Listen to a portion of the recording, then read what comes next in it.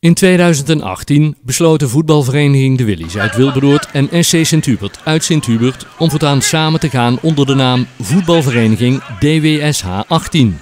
Dat is dit jaar dus precies vijf jaar geleden. Dit eerste lustrum werd gevierd op zondag 24 september tijdens de openingswedstrijd van dit nieuwe voetbalseizoen.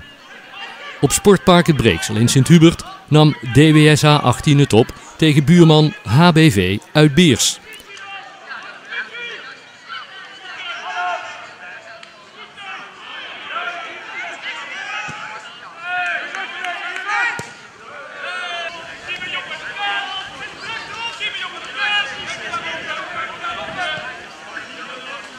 Na lange tijd met 0-1 achtergestaan te hebben, wist DWSH 18 in de laatste vijf minuten nog twee keer te scoren.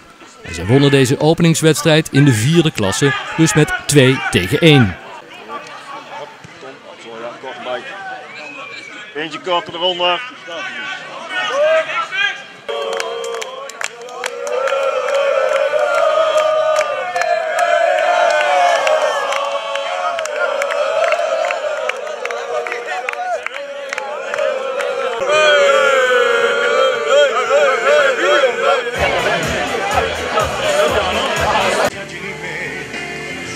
Maar ook voor de kinderen was er gezorgd voor volop vermaak en entertainment tijdens dit vijfjarig bestaan.